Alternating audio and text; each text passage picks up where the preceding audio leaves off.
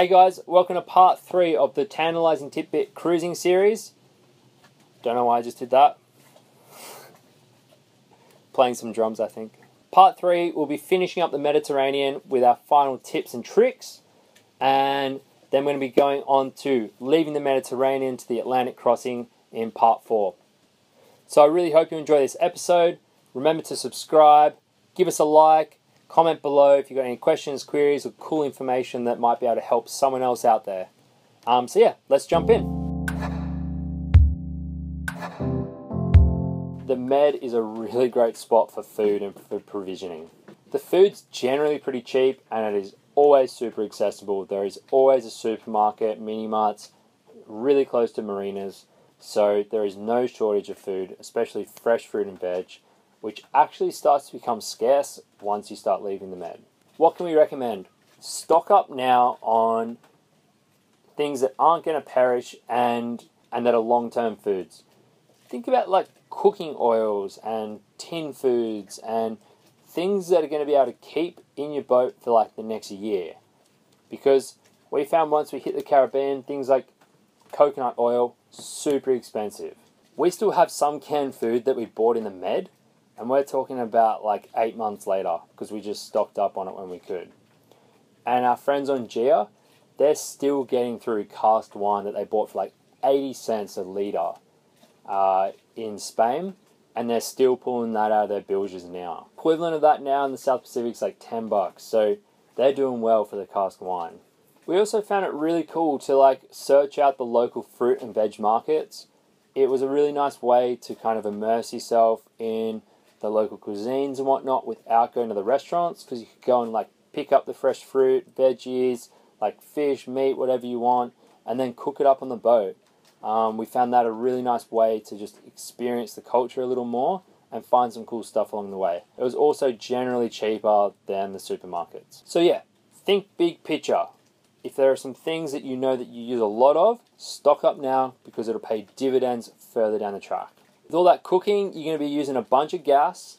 Uh, gas in the Mediterranean, I'm sure everyone's 90% of people must be using the small swap and go gas gas tanks.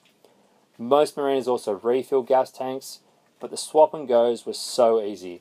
It's definitely been a challenge since leaving the Med to get gas refilled, especially here in the South Pacific. Like to get gas refilled here, you need a bunch of adapters. They do it by gravity filling. There's no swap and goes. There's different fittings and whatnot. So the med is super easy. Most chandleries, most marinas, even some supermarkets are just swapping gas bottles. But be careful. We definitely got ripped off quite a few times with picking up half filled gas bottles. Greece was the worst because we have uh, the three kilos, three kilo bottles. We now carry three of them, and each of those will be lasting us about four weeks, assuming they're full. So between that, we can normally get like, you know, 10 to 12 weeks on those bottles. It was easy when you could swap and go. Like, we must have swapped maybe three times, four times in the med. Um, but now we find ourselves kind of refilling them in bulk. We'll always, when we're down to our last tank, we'll refill two, and then, yeah, go on from there. Also, then provisioning for the boat in terms of fuel. You don't need to take too many jerry cans with you because there's quite a few. There's quite a lot of fuel pumps all around the Med. The price varied a lot. I mean, we paid everything from like eighty cents a liter in Gibraltar to like two dollars, two euros a liter in Sardinia. That was the worst we paid, but I do think fuel was more expensive than the Caribbean it's definitely been more expensive than the South Pacific, actually, but there's also a few hotspots around where fuel is cheap, and generally it's all about a tax. So have a little research as to where are going to be the best spots to fill up. Take a few jerry cans with you, but I don't think you need to go crazy with storing fuel in jerry cans on the boat. We only ever carried about 40 litres in jerry cans when we were in the Med we now carry 100 now that we're doing sort of cruising to more remote places. Finally, water. Water is pretty accessible there in the Med. Obviously, all the marinas have got it. Uh, a really nice little hack that we found worked for us was we'd often call up the marinas on the radio and we'd try to do it around midday and would ask them just to come in and fill up with water. So we'd come in for like an hour or two into the marina during the day. We'd just fill up with water. Often they charge you maybe like five euros or something like that. You could wash down the boat, have a shower, fill it up with water, and then get out of there and go anchor, and it cost you five euros. Water was probably our biggest reason for going to marinas. Otherwise, we just enjoyed anchoring out. So use that little hack, give them a call up on the radio, say, hey, we just want to come in, grab some water. How much will it be? It might be 5 euros, 10 euros, something like that. Also, if you've got some people, like some crew or something, send them out to the shops for an hour or two, come back, do the shopping, everyone jump on board, you're out of there in like two hours. I would say also just be careful of some of the water. Either test it before you drink it, make sure it's potable. Again, we picked up dodgy water in Greece, and we even picked up a little bit of dodgy water in Sardinia. Um, we now have a water filter. Um, it's called a, like a Nature Pure. It's a Nature Pure QC water filter, similar to like the Seagull system. Um, really great at filtering the water. It does not filter out salt, so just keep that in mind, but it filters out all the bad stuff. Uh, so that really helped just picking up, you know, varying qualities of water. Having the water filter was a lifesaver. On Avalon, we started when we bought the boat, we had like 280 litres. We then threw in another 200 litres of water tanks into the boat, so we now carry about 500 litres of water and we could find that easily lasts us like four or five weeks. Um, and we're not trying too hard on water rations there. So that's it for tips in terms of provisioning.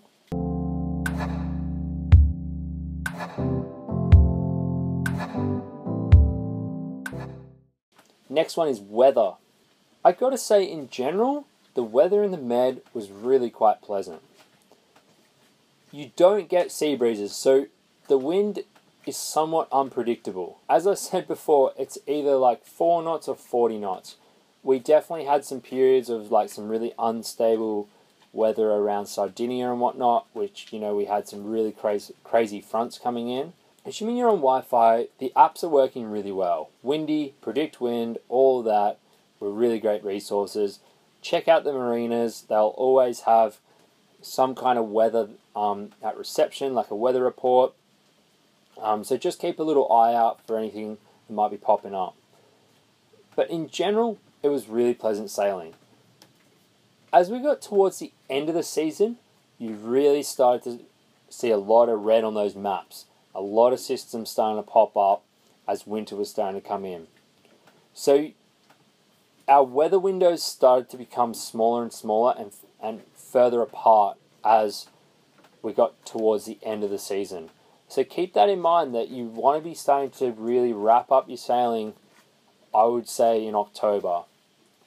Like September, October, because yeah, we started to really experience bad weather towards that part of the season. In retrospect, we probably actually did a lot more motoring than we realized in the Med, simply because the wind would just die for days. And so when you're doing long crossings, we actually ended up motoring quite a bit for those crossings. And we really didn't have time to be just sitting out there for days at sea. We are on a little bit of a tight schedule. We had to get places. We're often meeting people. So, you know, that two, three day crossing, we sort of needed to be averaging that four or five knots to make it happen. And we definitely found that the wind would die more often than not. So just think about that when you're planning these crossings. Maybe take that little bit of extra fuel um, and try and pick a really good weather window out of there. Also, research where you're ending, ending up. I mean, there are definitely some prevailing winds that will just come through the med and they'll sort of just come in like three to four day cycles. A good example is like coming out of Sardinia to cross over to Spain. Uh, the prevailing wind is called the Mistral. So often every few days, that Mistral would come in at like 30 to 40 knots um, and be howling for like three days and then it would back off and you'd be able to then like choose your weather window. So that started to really pick up in September, and our weather windows out of Sardinia became few and far between. You know, there's other ones down in Greece and Croatia. They've all kind of got their own name for that system, But definitely do a little bit of research to where you end up in that part of the season because you'll want to get your head around where those winds are coming from and how often they're coming out there. So, a few really helpful resources that we found while cruising the Med. A lot of these are online things, so Noonsite, absolute gold mine. As I said before, Navily was a really great app for anchoring. We also found the Facebook group Med Sailors and whatnot really, really helpful. Uh, you could post up questions about places and whatnot, and there was such a great community of people out there that were happy to answer questions, give you information, point you in the right direction, even come and help you themselves. So jump on and join those Facebook groups. And finally, we listen to a lot of podcasts. The podcasts were really great. The one we listen to a lot is Franz at Med Sailors. His podcast is Sailing the Mediterranean. Definitely check that out. Really good wealth of knowledge, good ports to go to, checking in, checking out, how to cruise, all of that. He's been doing it for like 25 years, so really good information. And then finally, the pilot guides. Obviously, the pilot guides are also really great wealth of knowledge. Um, but I did find a lot of information online, so I didn't always need the books. Um, and then, yeah, we used our Navionics charts as well. Also, some good equipment for the med. As I said before, make sure you got some stern to equipment so you can tie the back of the boat up and do the whole med mooring stern to anchoring. Uh, we wish we had a higher powered dinghy. That's not so med specific, but we did actually find like ourselves anchoring around from the major cities and whatnot. And just a higher powered te- high powered tender would have been great just to whip around into the cities. Probably would have allowed us to anchor a lot more. As I said, additional water storage and the water filter came in uh, came in real handy, and carrying a few extra gas bottles just meant you didn't have to dip into those marinas too often. In terms of renewables, solar panels are absolutely gold. The Mediterranean summer just produces so much sun. It is generally always sunny. Um, and I think you'd get a lot more bang for your buck out of solar rather than wind. I uh, will talk about when the wind really comes into its own when you're in the trades. But yeah, the Med was really not that windy, but heaps of sun. So think about that. So guys, I really hope you enjoyed part three of the Tantalizing Tidbit cruising series. And then we're going to be going on to leaving the Mediterranean to the Atlantic crossing in part four. Make sure you subscribe to the channel. Make sure you hit like if you enjoyed that, and comment below if you've got any questions or any additional additional information that could be really helpful to our fellow fellow sailors out there, um, and to myself that I might be able to include into the next one. Um, and yeah, I really hope you enjoy these Finding Avalon tantalizing tidbits. Also, guys, don't forget if you want to become a patron, jump on board. Link below. We try to pump out all kinds of informational videos like this for patron only. Um, there's a bunch of tiers, bunch of different access, bunch of extra content out there. So yeah, if you're interested in this kind of stuff and you want to support the journey, get on that. And if you noticed, I got some super sweet teas on. Jump onto the link below to our merch site. And yeah, if you want to buy some Finding Avalon gear, get on board. Looking sexy! See you guys.